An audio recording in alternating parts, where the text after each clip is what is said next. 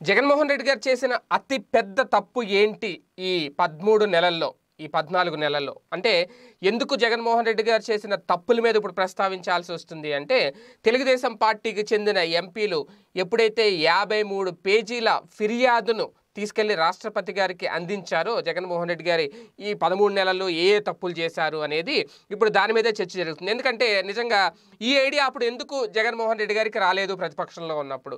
నిజంగా జగన్మోహన్ రెడ్డి గారికి ఈ ఐడియా వచ్చుంటే గనక యాభై మూడు పేజీలు కాదు దాదాపు ఒక ఐదు వేల ఐదు లక్షల పేజీలని ఒక లేఖ కింద రాసి దాన్ని ఏమన్నా ప్రత్యేకంగా ఒక ట్రైను ఒక స్పెషల్ బోగి వేసి అందులో తీసుకెళ్ళాల్సి వచ్చేదేమో హైదరాబాద్ నుంచి ఢిల్లీ అనేది కూడా ఇప్పుడు ప్రధానంగా వైసీపీ నేతలు సోషల్ మీడియా వేదికగా చర్చిస్తున్నారు. ఎందుకు అంటే చాలా అతిపెద్ద తప్పులు చేసేశారు జగన్మోహన్ రెడ్డి గారు. ఆ తప్పులన్నీ యాభై మూడు పేజీల మీద వీళ్ళు స్వదస్తూరితో రాసి మరి కోవిడ్ అక్కడ తీసుకెళ్ళి ఈ కోవిడ్ టైంలో ఎన్ని తప్పులు చేసేసారు ఇవన్నీ కూడా రాసి తీసుకెళ్ళి రాష్ట్రపతి గారికి నివేదించుకున్నారు. రా అయ్యో రాష్ట్రం ఆ, అతలాకుతలం అయిపోతుంది పాడైపోతుంది ఇమీడియట్గా మీరు స్పందించండి అని. ఈ ఏడాది కాలంలో జగన్మోహన్ రెడ్డి గారు చేసిన తప్పులు ఏంటి అనేది ఇప్పుడు వెతుకుతుంటే చాలా తప్పులే కనిపిస్తున్నాయి.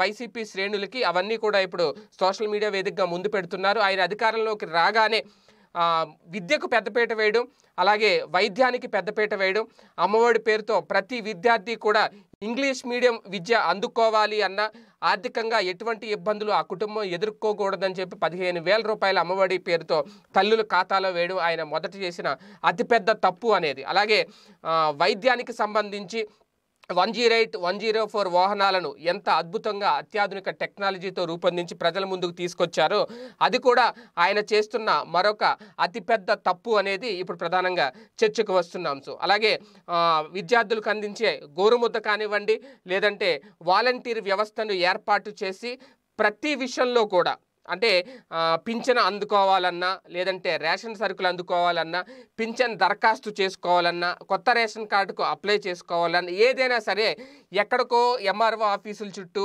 మండల ఆఫీసుల చుట్టూ రెవెన్యూ కార్యాలయాల చుట్టూ చెప్పులు అరిగిపోయేలాగా తిరగకుండా నేరుగా వాలంటీర్లే ఇంటికి వచ్చి వాళ్ళ దగ్గరికే వచ్చి వాళ్ళ చేతుల్లో పింఛన్ పెట్టి వాళ్ళకి కావలసిన అన్ని సౌకర్యాలు అందేలాగా చూస్తున్నారు వాలంటీర్ వ్యవస్థను ఒకదాన్ని ఏర్పాటు చేసి. అతి అది అంతకంటే జగన్మోహన్ రెడ్డి గారు చేసిన అతిపెద్ద తప్పు అనేది వైసీపీ సోషల్ మీడియా వేదికగా ప్రశ్నిస్తున్న ప్రశ్న. అంటే ఇలా చూసుకుంటూ పోతే జగన్మోహన్ రెడ్డి గారు చేసిన పనులన్నీ ప్రజలకు మంచి అని అనిపిస్తుంటే అవన్నీ ప్రతిపక్షాలకి తప్పుగా కనిపిస్తున్నాయి కాబట్టి వాళ్ళు కూడా అవన్నీ తప్పులుగానే చూడాలా? అందుకే ఇప్పుడు యాభై మూడు పేజీల్లో వాళ్ళు చేసిన తప్పుల్ని రాసి పెట్టుకున్నారు అనేది. స్థానిక సంస్థల ఎన్నికల విషయంలో జగన్మోహన్ రెడ్డి గారు చేసిన ఈ పథకాలను అందించిన ఈ మంచి మంచి పనులను తప్పులుగా చూసే యాభై శాతం ఏకగ్రీవం అయిపోయి ఒక పక్క తొంభై శాతం గెలుపుకు సిద్ధమవుతున్న తరుణంలో ఒక కుట్రపూరిత రాజకీయాలను అవలంబించి స్థానిక సంస్థల ఎన్నికలు వాయిదా వేయించారు. అది మాత్రం సరైన పని కానీ జగన్మోహన్ రెడ్డి గారు చేసినవన్నీ తప్పులా అనేది ఇప్పుడు వైసీపీ శ్రేణులు సోషల్ మీడియా వేదికగా ప్రశ్నిస్తున్న ప్రశ్న. తెలుగుదేశం పార్టీ నాయకుల్ని ఎవరైతే ఆ యాభై మూడు పేజీల ఫిర్యాదు తీసుకెళ్ళి అందించారో వాళ్ళందరినీ కూడా. అంటే ఇలా చాలా ఉన్నాయి. వాహన మిత్ర పేరుతో కానివ్వండి తాజాగా రేషన్ కార్డులు అందుకున్నారు. అలాగే ముప్పై లక్షల ఇళ్ళ స్థలాలు పంపిణీ చేయబోతున్నారు. ఇళ్ళ స్థలాల పట్టాలు కూడా సిద్ధం చేసేశారు. నవరత్నాల్లో పొందుపరిచిన రవ నవరత్నాలు తొమ్మిది నవరత్నాలు ఏవైతే ఉన్నాయో తొంభై శాతం దాన్ని ఏడాదిలోనే పూర్తి చేసేసి అతిపెద్ద తప్పు చేశారా? అంటే ప్రజలకు ఏమీ అందించకుండా పింఛన్లు పెంచకుండా కొత్తగా రేషన్ కార్డులు ఇవ్వకుండా ఇళ్ళ స్థలాలు ఇవ్వకుండా ఏమీ ఇవ్వకుండా ప్రజల్ని అలా వదిలేసి గాలికి వదిలేస్తే గనక అది మంచి పనేమో.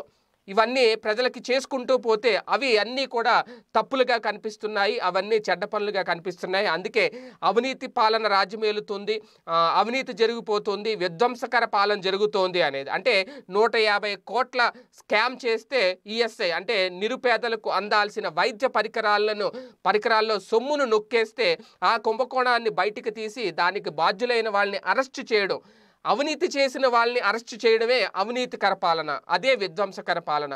హత్య రాజకీయాలు చేస్తున్న వాళ్ళని ప్రోత్సహించకుండా అరెస్ట్ చేయడం అది విధ్వంసకర పాలన. అంటే వీటన్నిటికీ సమాధానం చెప్పాల్సిన అవసరం ఎవరి మీద ఉంది అంటే ఆ యాభై మూడు పేజీల ఫిర్యాదు ఎవరైతే చేశారో జగన్మోహన్ రెడ్డి గారి పరిపాలన మీద దానికి సమాధానం చెప్పాలి అనేది ఇప్పుడు వైసీపీ శ్రేణులు చెబుతున్న మాట. నిజంగా ఇవన్నీ తప్పులుగా వాళ్ళకి కనిపించి ఫిర్యాదు చేస్తే జగన్మోహన్ రెడ్డి గారు ప్రజలకి మంచి చేయడం తప్ప రైట్ అనేది ప్రజలు నిర్ణయించుకోవాలి ప్రజలు ఆలోచించుకోవాలి. దాన్ని పట్టే తదుపరి ఫలితాలు ఉంటాయి అనేది కూడా. ఆ ఫలితాల్లోనే తేలిపోద్ది. ఎవరు ఏంటి అనేది ఆల్రెడీ స్థానిక సంస్థల ఎన్నికల ఫలితాల్లో తేలిపోయేది కానీ అలా తేలుతుందనే ఉద్దేశంతోనే దాన్ని వాయిదా వేయించారు అనేది కూడా వైసీపీ నేతలు బహిరంగ బహిరంగంగానే ఆరోపిస్తున్న పరిస్థితి. మొత్తానికి ఇప్పుడు ఇది ఒక చర్చనీయాంశంగా మారింది.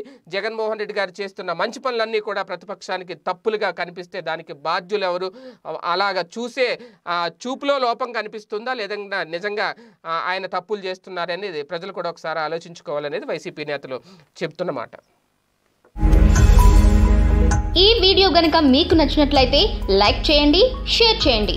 మరిన్ని వీడియోస్ కోసం మా ఛానల్ను సబ్స్క్రైబ్ చేయండి.